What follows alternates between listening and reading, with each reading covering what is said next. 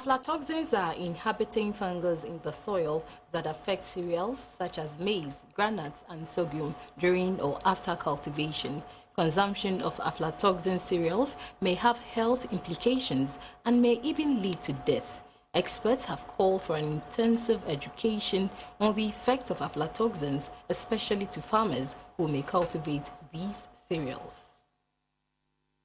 Researchers from KNUST say the rate of aflatoxins in cereals, especially maize in Ghana, is high. They say groundnuts and sorghums are also at risk. In a research conducted by the International Institute for Tropical Agriculture, IITA, and a research team from the University of Science and Technology, KNUST, and CSIR, it came up that the quality of a lot of the maize on the market is poor due to aflatoxins. These inhabiting fungus affects the cereal during pre and post harvest periods as a result of delayed harvesting or planting, poor storage, and poor agricultural practices. Aflatoxins are estimated to cause 5 to 30 percent of liver cancers when infected maize or cereals are eaten. Aflatoxin, it causes liver cancer. It is associated with stunting of children. It is associated with immune suppression. It's associated with kwashiorkor, okay, and so it actually has a large amount of both, and it also causes death sometimes. So it has got a large amount of acute and chronic effects. Aflatoxins compromise food security, health, and trade in developing countries.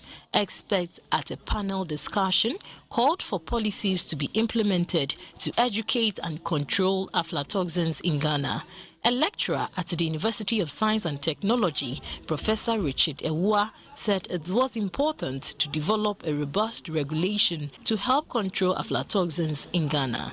To properly monitor and regulate aflatoxin, Ghana would have to improve her capacity for detecting and monitoring the toxins in food so that only foods that are safe are permitted in the market. The executive director of the Ghana Standards Authority, Professor Alex Dodoo, commended researchers who have produced a natural product that reduces aflatoxins. He said when quality is compromised, food safety and health is not compromised. He said, when quality is compromised, food safety and health is also compromised. We would ensure that we force these things and force it because it's in everybody's interest.